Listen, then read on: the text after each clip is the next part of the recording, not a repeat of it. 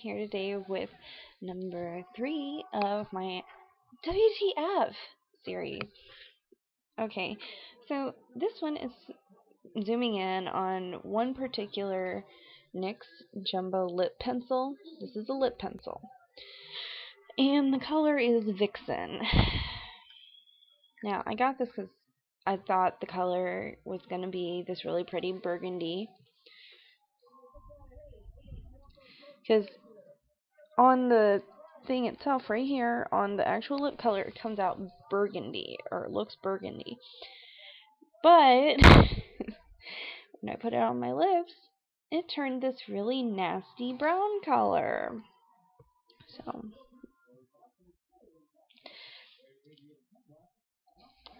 Um it actually looks prettier on camera than it does on my hand. Um it's brown. It looks reddish here, but it is brown on my hand. So, I wish it was as pretty as on the camera. But yeah, I am not too thrilled with it.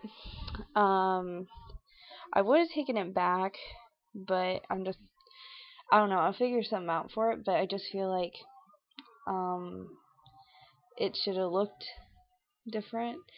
And obviously I shouldn't complain too much but I can always put another lipstick over it.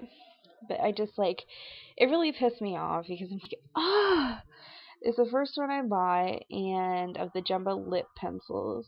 Yeah, it's the first one I bought of the lip pencils, and of course it was the first disappointment, and it's like, ah, you know, one of those things.